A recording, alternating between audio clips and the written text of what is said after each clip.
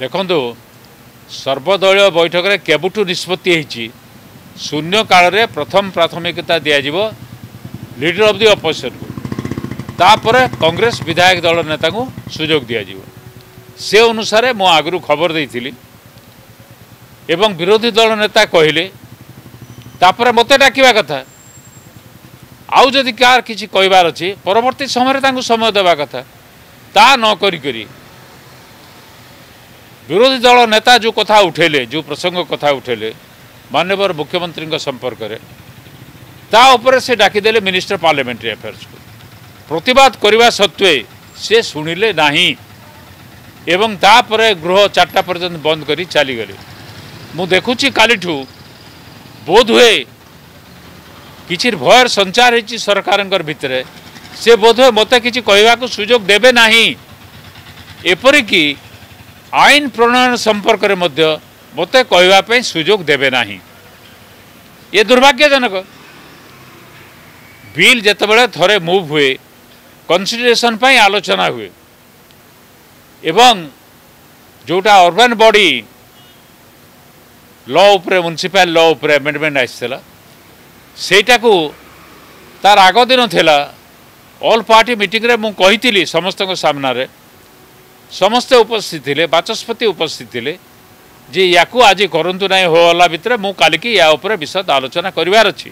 ସେ ଜାଣିଥିଲେ ମୋତେ ନ ଡାକିକରି କନସିଡରେସନ୍ ପାଷ୍ଟ ତାପରେ ପାସିଂ ଷ୍ଟେଜକୁ ପଳେଇ ଆସିଲେ ତାର ପ୍ରତିବାଦ କରି କଂଗ୍ରେସ ଦଳ କାଲି ଗୃହତ୍ୟାଗ କରିଥିଲା ବିଜେପି ଦଳ ଯେଉଁ ସ୍ୱାଧିକାର ଭଙ୍ଗ ଆଣିଛି ଏବଂ ସାଲୁଜା ଯେଉଁ ସ୍ୱାଧିକାର ଭଙ୍ଗ ଆଣିଛନ୍ତି ସାଲୁଜା ସ୍ୱାଧିକାର ଯେଉଁ ଭଙ୍ଗ ଆଣିଛନ୍ତି ସେ ତ ଠିକ୍ ଆଣିଛନ୍ତି ବିଜେପି ଦଳ ଯେଉଁଟା ଆଣିଛନ୍ତି ତାଙ୍କ ହିସାବରେ ସେ ଠିକ୍ ଅଛି। ଉଭୟଟାକୁ ସେ ତର୍ଜମା କରିବା କଥା। ଏବଂ ବିଜେପି ଦଳ ଯେଉଁଟା କହୁଛନ୍ତି ଯେ ମୁଖ୍ୟମନ୍ତ୍ରୀ ଯେଉଁ ଜନବିରୋଧୀ ବୋଲି ବିରୋଧୀ ଦଳଙ୍କୁ ଆଖ୍ୟା ଦେଇଛନ୍ତି ଏ ନିଶ୍ଚିତ ଭାବରେ ଅପମାନ ସୂଚକ। ନିଶ୍ଚିତ ଭାବରେ ଅପମାନ ସୂଚକ। ଏବଂ ଜାଣିଶୁଣି ଅପମାନିତ କରିବା ପାଇଁ ଚାହୁଁଛନ୍ତି। इटा है गला, चोर उल्टा कतवाल कोटांटे जो कदर कहावत अच्छी, चोर उल्टा कतवाल कोटांटे ठीक सेमती। जो मुख्यमंत्री जन विरोधी जो मुख्यमंत्री सब जन विरोधी काम विरोधी दल को कहे जन विरोधी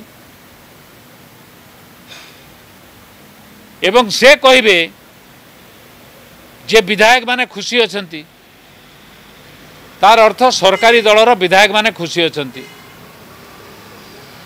ମନ୍ତ୍ରୀମାନେ ଠିକ୍ କାମ କରୁଛନ୍ତି ତାମାନେ ମୁଖ୍ୟମନ୍ତ୍ରୀ ନିର୍ଦ୍ଦେଶ ଦେଇଛନ୍ତି ଯେ ତୁମେ ଗୁମାସ୍ତାମାନଙ୍କ ବୋଲକରା ହୁଅ ଗୁମାସ୍ତାର ଗୁମାସ୍ତା ହୁଅ ମନ୍ତ୍ରୀ ବିଧାୟକ ତୁମେ ସଭା ଗୁମାସ୍ତା ପାଇଁ ଠିକ୍ କର ଲୋକଙ୍କୁ ଆଣ ଚୌକି ବୁହ ଟେଣ୍ଟ ଗାଡ଼ ଏଇଟା ମୁଖ୍ୟମନ୍ତ୍ରୀ କହୁଛନ୍ତି ଆଉ ସେଟାକୁ ସେ ସମର୍ଥନ କରିଛନ୍ତି ଦୁର୍ଭାଗ୍ୟ ଗଣତନ୍ତ୍ର ବୋଲି କିଛି ନାହିଁ ଆଉ ଯେଉଁମାନେ ନିର୍ବାଚିତ ପ୍ରତିନିଧି ଯେଉଁମାନେ ମନ୍ତ୍ରୀ ଗଣତନ୍ତ୍ର ଶାସନରେ ତାଙ୍କର ପ୍ରୋଟୋକଲ ଅନୁସାରେ ସବୁଥିରୁ ଆଗରେ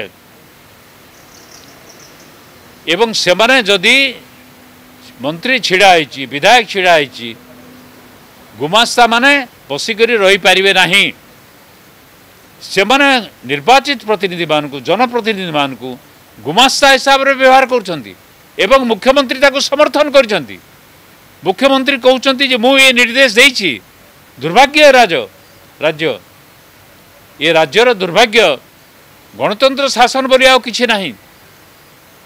ଗଣତନ୍ତ୍ର ଶାସନ ଭୁଷୁଡ଼ି ପଡ଼ିଛି।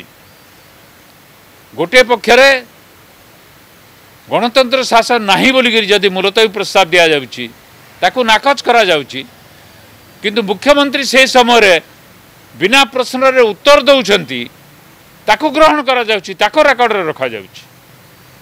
ମୁଁ ସେଇ ବିଷୟ ଆଜି ଗୃହରେ ଉଠାଇବା ପାଇଁ ଚାହୁଁଥିଲି ଏବଂ ସୁଯୋଗ ମିଳିଲେ ତାକୁ ମଧ୍ୟ ଉଠାଇବି।